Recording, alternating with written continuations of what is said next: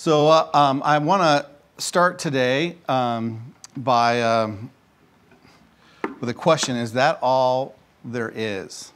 Is that all there is? Maybe this is something that that you've asked yourself, but uh, just for a little little context, um, way back when, actually even before my time, there was a great singer by the name of Peggy Lee.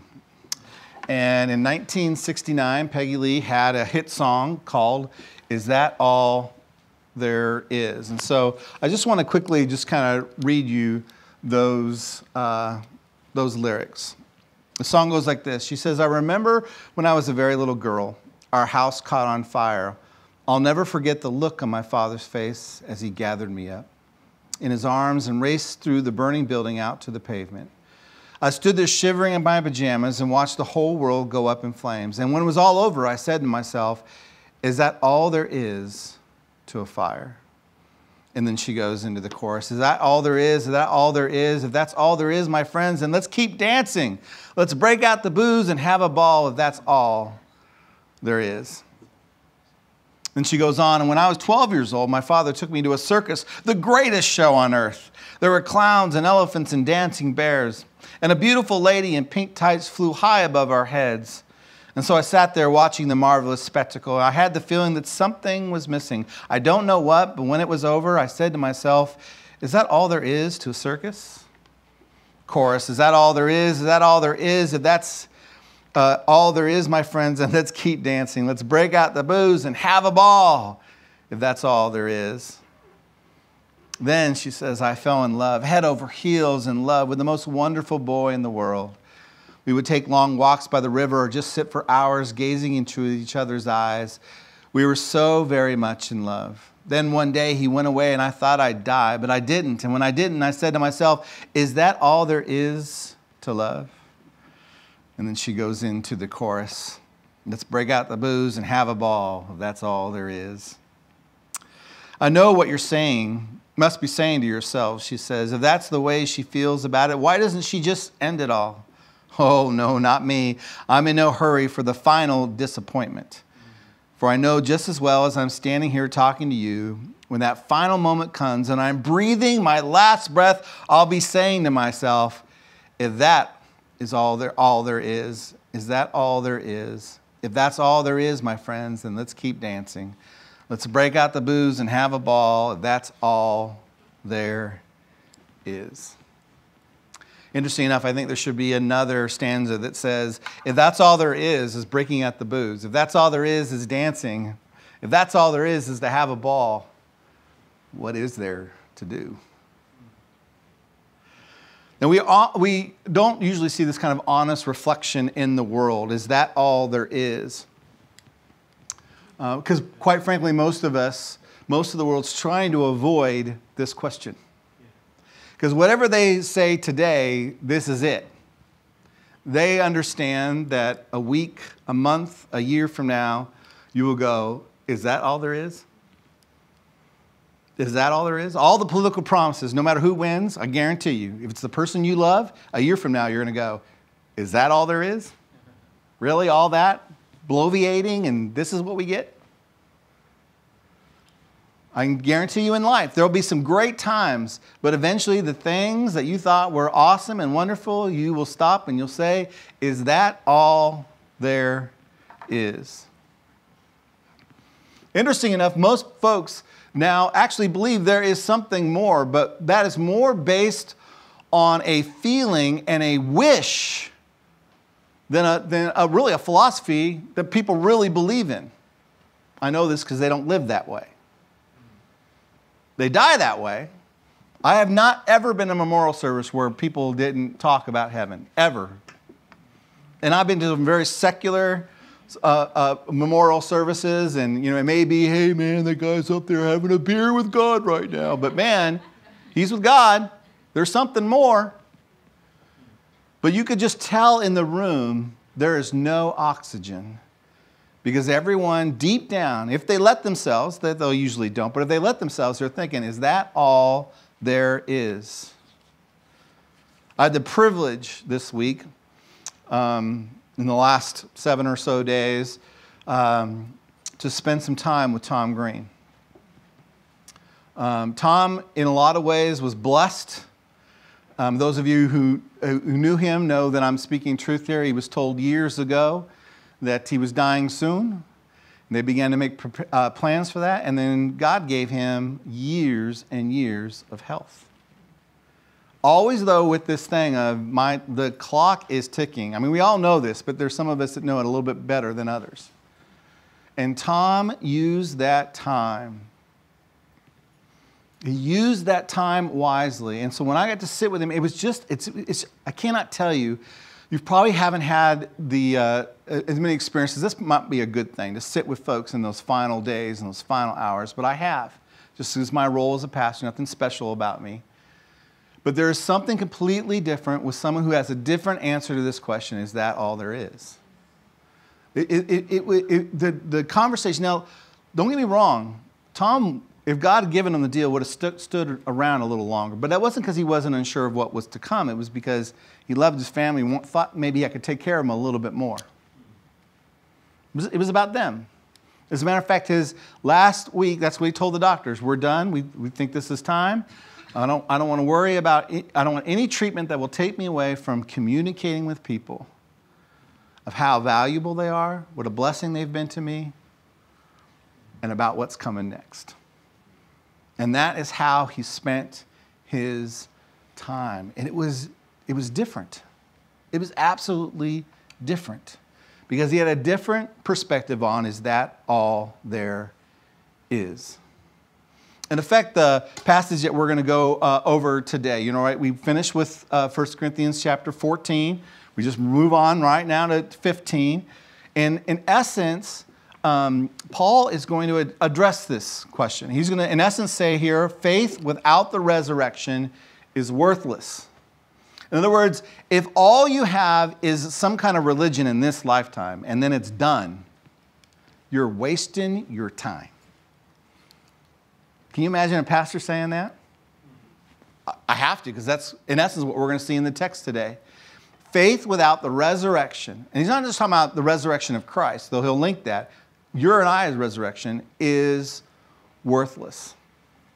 Now, um, we, uh, you might not remember this, but uh, in Easter, we actually went through verses 1 through 11 of 1 Corinthians 15. Um, and he, basically, Paul comes and says, Hey, I want you to know the good news. Here's the good news. And he basically says that Christ, four things, died for our sins. That's the reason he went to the cross. Somebody needed to pay for that, and we couldn't do it ourselves. So Christ died for our sins. He was buried. In other words, he was really dead. But then he was raised, and then he was seen by a bunch of people to prove that he had been raised from the dead right? You'll, you'll, if you want to go and, and you, have, missed that message, you can kind of think, oh, I like to know, hear that one. I want to hear all of 1 Corinthians, right? You can go back online. It will be online for you to do that. But then he moves on here in, in verse 12, and he kind of says, he just addresses the question. If that's true, that's what we say the good news is, then how can some of you say that there is no resurrection of the dead? How can some of you go around saying, you know what? There's really not life after, or even a truncated, right? And that is just your spirit moves on. It's this, it, you know, joins the consciousness. It is kind of free flowing, kind of a kind of a kind of a thing. And Paul says, in in contrast to what we we're teaching you, the faith that you have, how in the world can you say this? So again, let's pick up in 1 Corinthians chapter uh, 15, verse 12. Verse 12. Paul writes, But if it is preached that Christ has been raised from the dead, how can some of you say that there is no resurrection of the dead? If there is no resurrection of the dead, then not even Christ has been raised. And if Christ has not raised, our preaching is useless, and so is your faith. More than that, we are then found to be false witnesses about God. For we have testified about God that he raised Christ from the dead. But he did not raise him, in fact, the dead are not raised. For if the dead are not raised, then Christ has not been raised either. You can kind of see the theme here. And if Christ has not been raised, your faith is futile. You're still in your sins. Then those who have uh, fallen asleep in Christ are lost. If only for this life we have the hope in Christ, we are of all people must be pitied. So let's just take this, uh, uh, this apart a little bit. Obviously, the, the main idea here is, is this question How can some of you say that there is no resurrection of the dead. especially considering that is, that is like the cornerstone of what we've been preaching. It's not how can the world say that, it's that how can those of you who have supposedly faith in Jesus say that? How can you endorse that philosophy?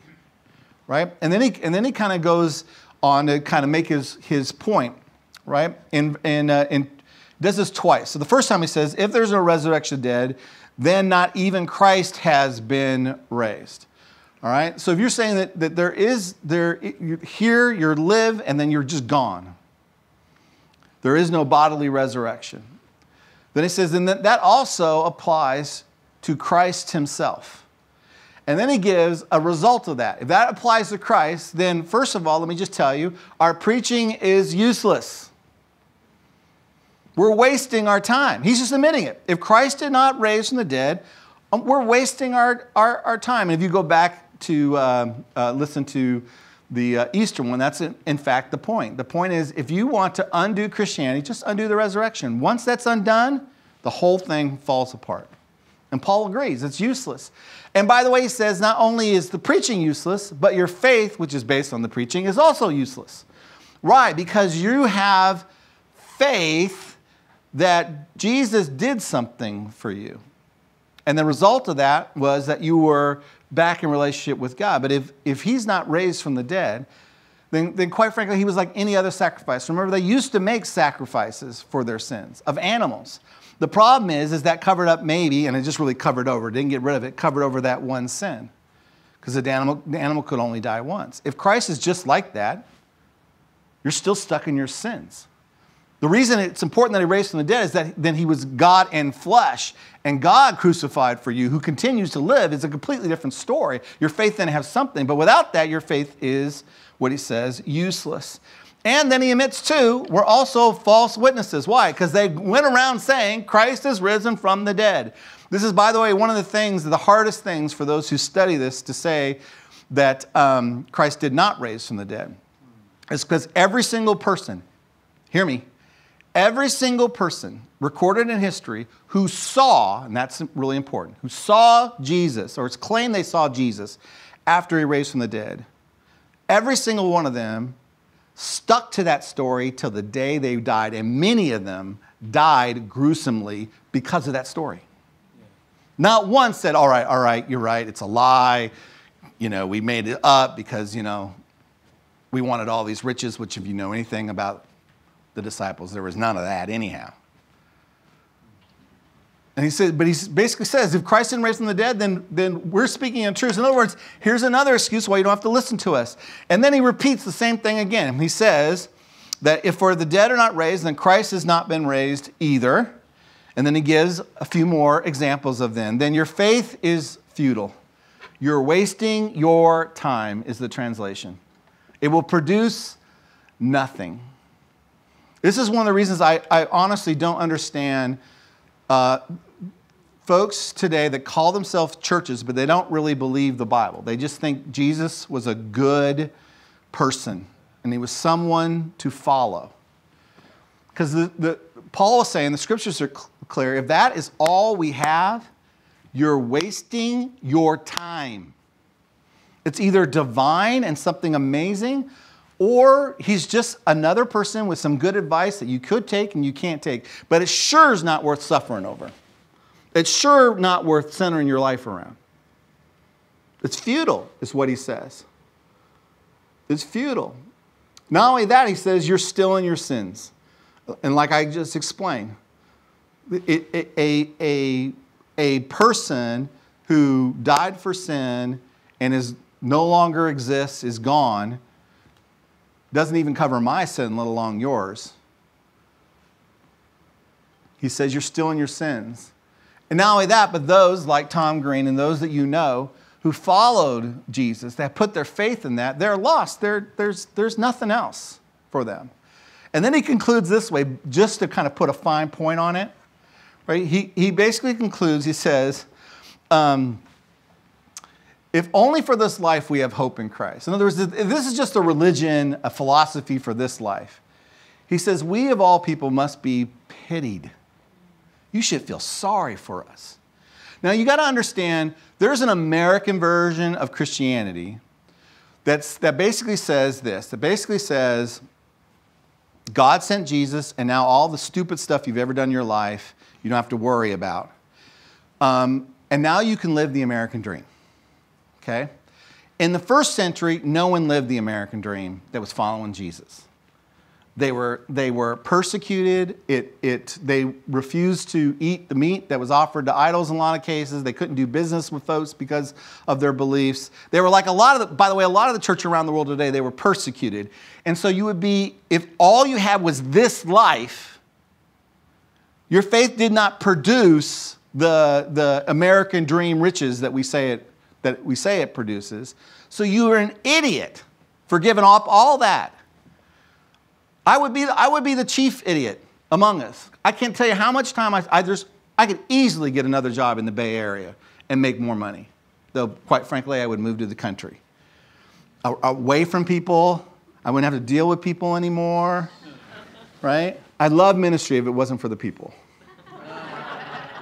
No, serious, seriously, we should be, the, the things that we give up, if this is it, um, listen, um, just understand what Paul is saying. This, this idea that, that you can have this Christian philosophy and it just makes you feel good about yourself and a good person. He doesn't buy into that at all. He's saying because faith is something that you step out and it costs you something. And why in the world would you live a life of, of self sacrifice, of persecution, of saying no to yourself, let alone saying no to what the world says, for nothing. For nothing. So, so your friends and family and, and those that you in your circles that you know that are, that that um, don't believe in God, and they're just like Peggy Lee. If that's all there is, drink the booze, let's dance, let's party. Paul, we're going to find, is in actually agreement with them that's actually not stupid, it's, it's the end result, it's a logical result. Then he goes on, he's going to talk about what I call the theology of the resurrection. Now, I know theology is a big word. We don't go around, you know, talking about what's your theology? What's your theology? It's not a daily word, but all, all it means is the study of God. And there's some things about God and some truths that he just wants to establish, that he wants us to make sure that we understand. Verses 20 through 28. Let me just read the 20 through 26 first. But God, Christ has indeed been raised from the dead, the first fruits of those who have been fallen asleep. For since death came through a man, the resurrection of the dead comes also through a man. For as in Adam all die, so in Christ all will be made alive. But each in turn, Christ, the first fruits, when he comes, those who belong to him. Then the end will come. And when he hands over the kingdom to God the Father, after he's destroyed all dominion, authority, and power, for he must reign until he has put all his enemies under his feet. The last enemy to be destroyed is death. Okay, so here's the things that he wants you to know about God. Number one, Christ has in fact been raised from the dead. In fact, he, he calls Christ the first fruit of many who will rise. So in the, in the Jewish tradition, the, the first fruits is, um, is the first part of the harvest uh, that faithful Jews bring to the temple as an offering. It was, it was required, it's that 10% kind of idea. As soon as you harvest, you take 10% and you take it to the temple. It's the first fruits, right? It's, it's, it's the same thing for those of you who, who are uh, tithe in this way, right? I don't, I, as soon as I get my paycheck, the first 10% is sent to ministry right away. Don't, don't even think about it. And then after that, God might ask for more. He may or may not. But the first fruit is his. And so what, he, what he's saying is, is that Christ, in fact, was the first fruit of this salvation, the first resurrection. Now, he's not actually technically the first resurrection. Lazarus, remember, he raised Lazarus from the dead, but he is the first eternal resurrection. And what we're going to find out next week uh, in terms of the eternal body as, as well. So he is, he is the first fruit. Christ has indeed been raised from the dead. And then, and then he kind of says, okay, this is what this is how you I want you to process. There's a truth I want you to know. Right? And he talks about, he kind of he goes back in the scriptures, he says, in the very beginning, God creates man and woman. And remember, they were without shame before God, they were without shame of each other. Uh, but they also had the opportunity to love, and love means you have a choice. You have to have a choice. If you don't have a choice, you can't love. Okay? But with that choice, they decided to A, not love God, and A, not love each other, and then the result was shame. And from then on, flesh was corrupt. And now our flesh is, is driven by a desire to destroy itself. Now, let me just give you the best example I can at this point of what he's talking about. Some of you may notice I might be a little thinner than I have been in quite a while. I can take no credit for this whatsoever. The reason I'm thinner is they gave me a medication for, for my diabetes, and the side effect of that was I lost my appetite. Okay, I lost my appetite, which, by the way, is, was a completely new experience for me. I have never not been hungry, ever in my life. Ever in my life. Until, until I had, all of a sudden I, I, I, I took a medication and uh, um, I, I will have a plate, and it's a small plate even. I have three dollar sized pancakes on it, and I eat one, I'm like, I'm done. That is so unusual. I can't believe that some of you, that's the way you always live. You actually get full. You are so lucky. Now, in essence, using that analogy, God, that's how God created humanity. God created humanity to love, to feel like putting their uh, lives down for each other and, for, and to feel like putting their lives down for God. And it's you first, not me first. But when sin happened, all of a sudden, everybody got that appetite. Your flesh got the appetite I have, which is just consume, consume, consume. And it doesn't really matter what anyone tells you about what you're, what's happening to your body, your mind, and all that kind of stuff. You just have this craving to, and to say no, you're just fighting this craving each time. So I'm either going to wrestle against all the weight or I'm going to wrestle against my brain going, I'm hungry, I'm hungry, I'm hungry, I'm hungry, I'm hungry right? So what he's saying is, is, is, that that hunger to destroy yourself, to just consume, to make yourself feel good, even though it's not good for you, that came when Adam and, and Eve, but really he's pointing to Adam now, the dude, not the, not the gal. From it, death entered in through that decision right there. But just as it entered in through one person, he says there's an opportunity for you to get that appetite, if you would, where it's where God originally created it, where you're not trying to destroy yourself. That opportunity comes through Christ.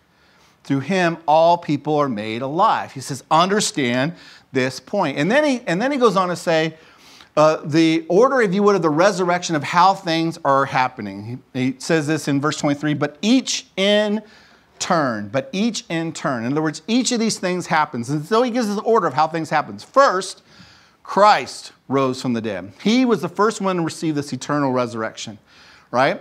Then he's going to say that those who belong to Christ, now notice it's a qualifier, not everyone, those who belong to Christ, they also will experience resurrection.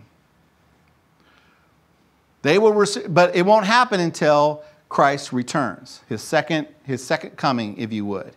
Right? And then at that time, when Christ returns, he says, at that time, the end will come. He's going to say a little bit about the end. We'll get there.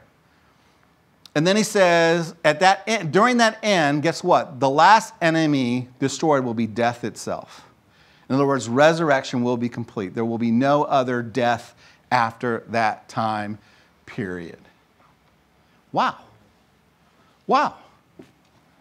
In the midst of this, he says, he kind of gives us some information about when the end comes. When the end comes, he says that um, Christ, in essence, um, uh, he says that the, uh, God will hand over the kingdom.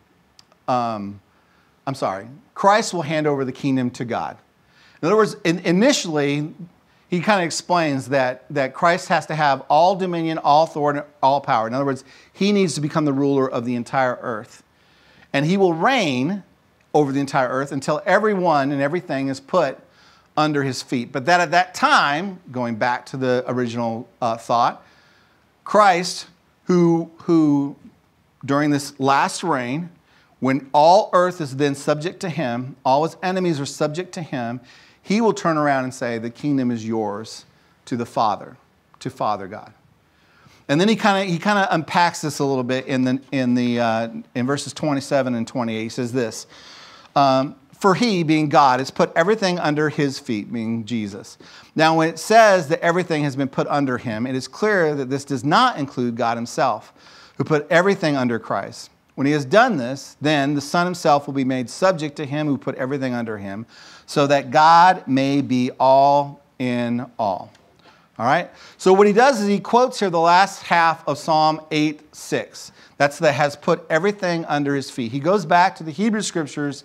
He says, There's an idea here, there's a theme that you see where God puts all things under the Messiah's feet. It's all subject to him. Okay?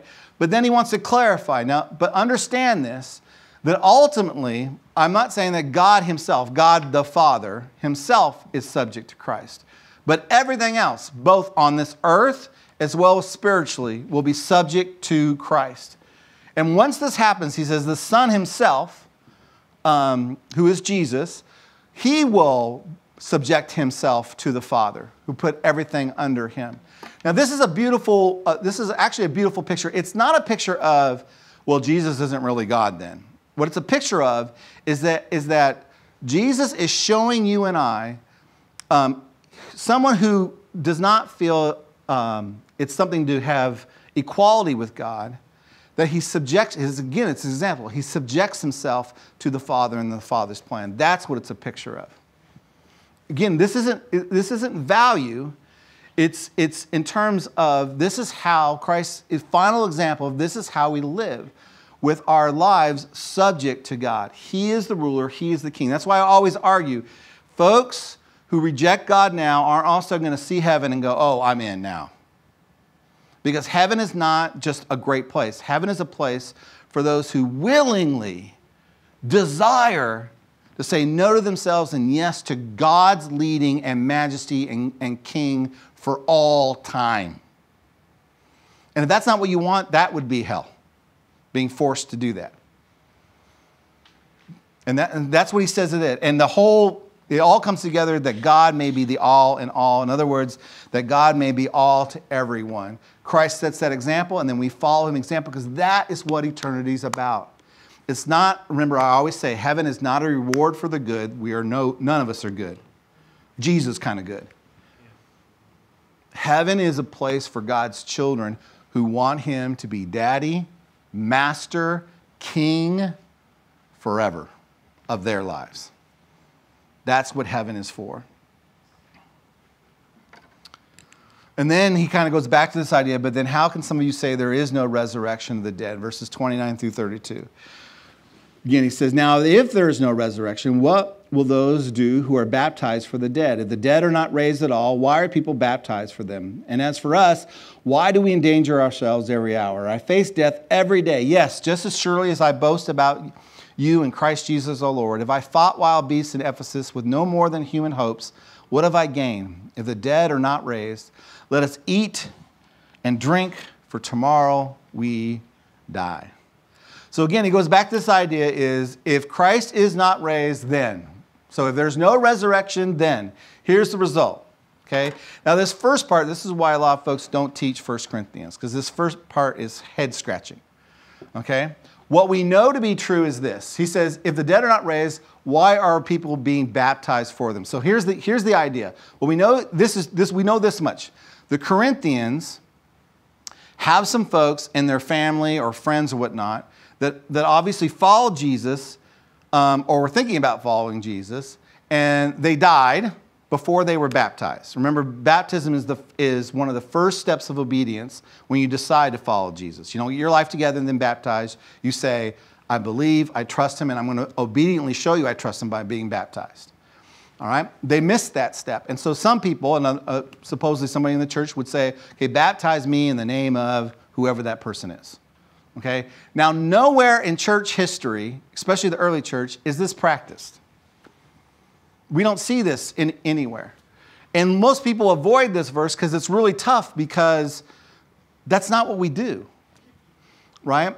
Um, the be- my best guess, and now I'm using the word guess. So I'm not teaching you, I know this is absolutely true. But my best guess is this that um, um, baptism is only a symbol of what happened in your heart. And it, just because if you receive Jesus and on their way to the baptistry you get hit by a truck, God's not going to go, you didn't get in the water. Sorry, you don't get in. Now, I think baptism is important because it's a step of obedience, but I don't think it, I don't think it trumps, the physical act trumps the heart, which is really what matters, right? After all, the thief on the cross that Jesus said, You'll be with me in paradise, was never baptized. And as far as we know, nobody was baptized for him. Okay? So I don't, I don't think Paul thinks it matters, that this practice matters. That's not what his point is making. But what he's making is this you are saying there's no resurrection. Then why in the world would you go through this ceremony and baptize, get someone baptized so that somebody can get to the place that you don't even believe exists? It makes no sense. It makes absolutely no sense. He's just pointing that out, I believe. Okay? After that, I'll, I'll, be, if you really want to get into it, we can talk about it more afterwards.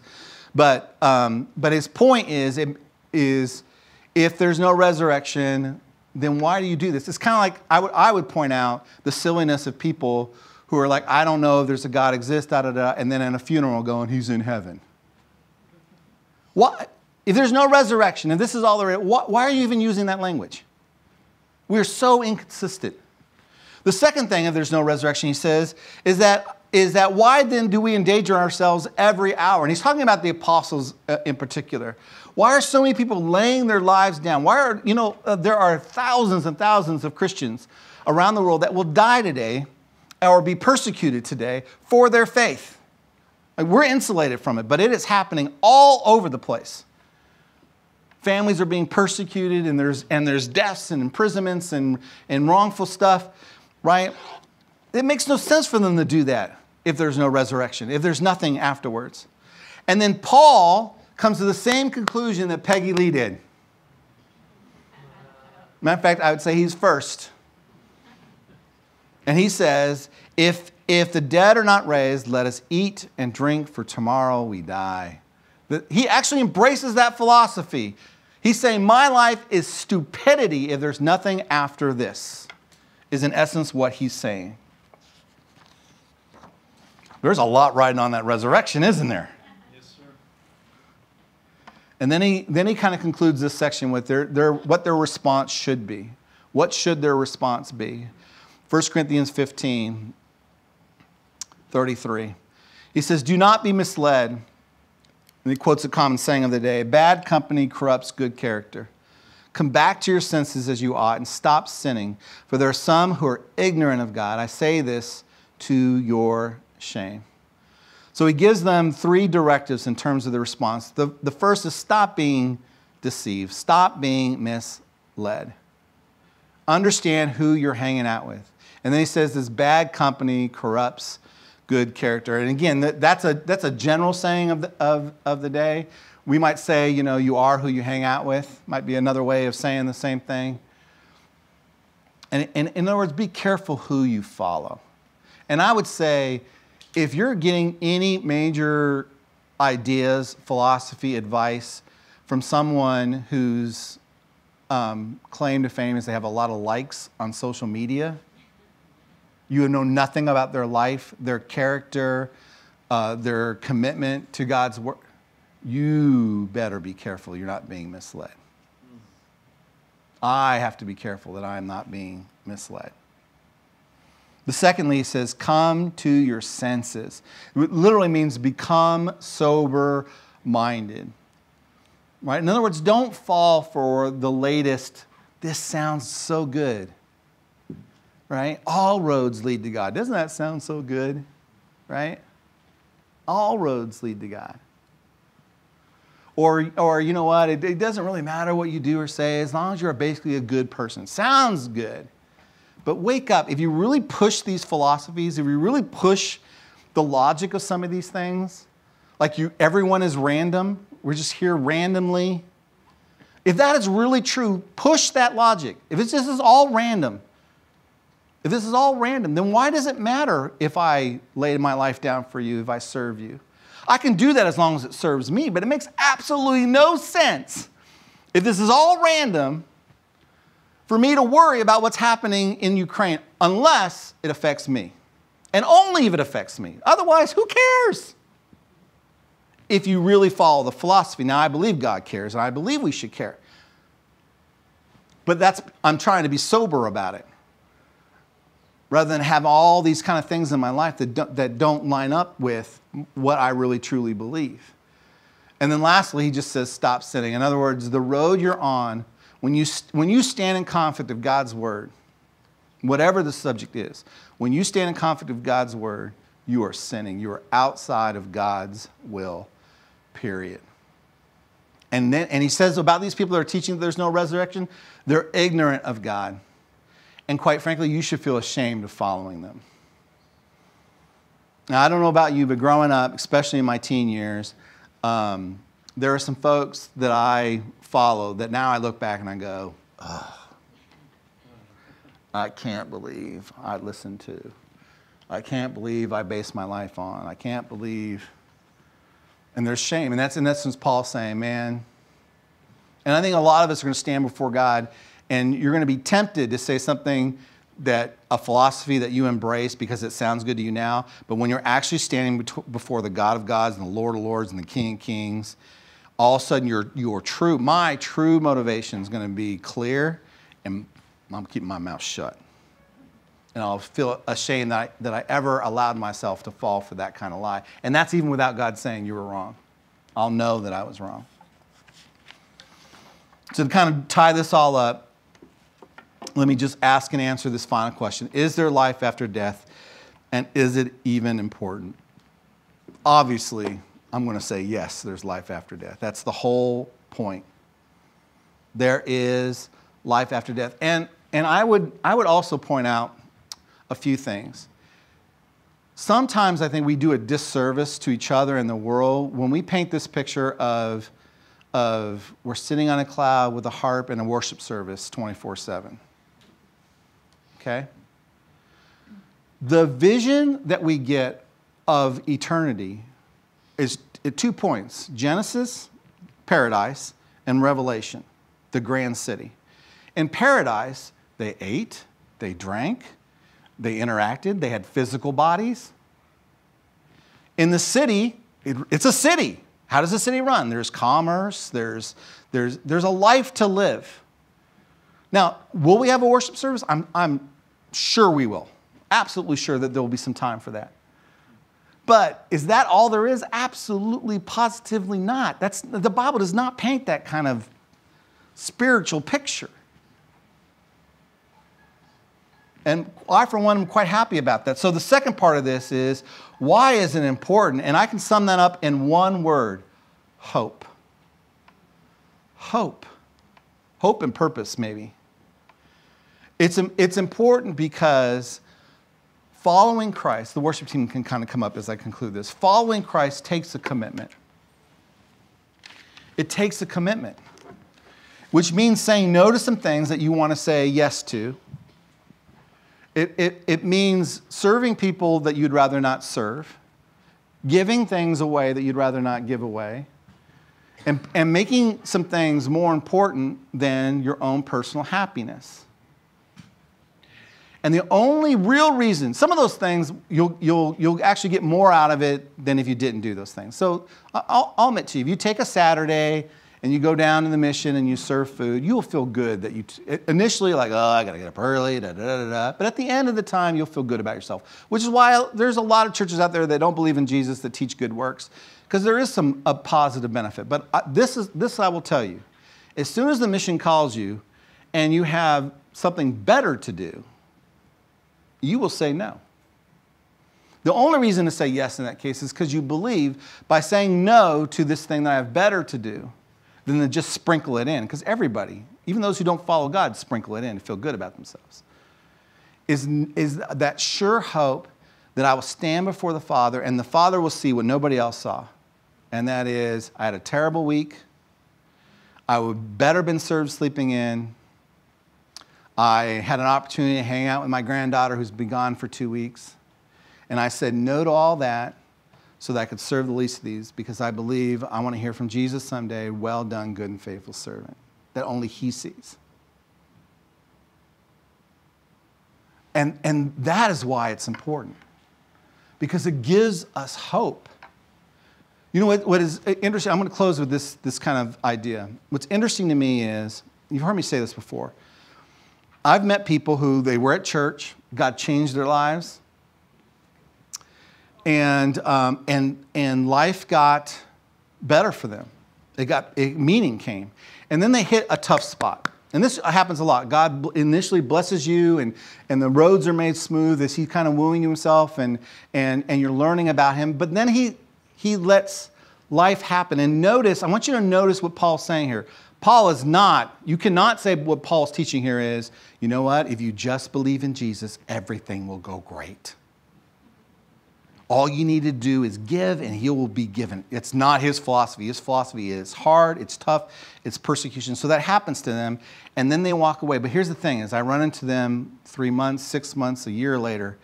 And how you doing? Da da da da da da, right? And they're like, well, you know, the church thing's really not for me. Da da da. And then they start talking about their life. The joy is gone.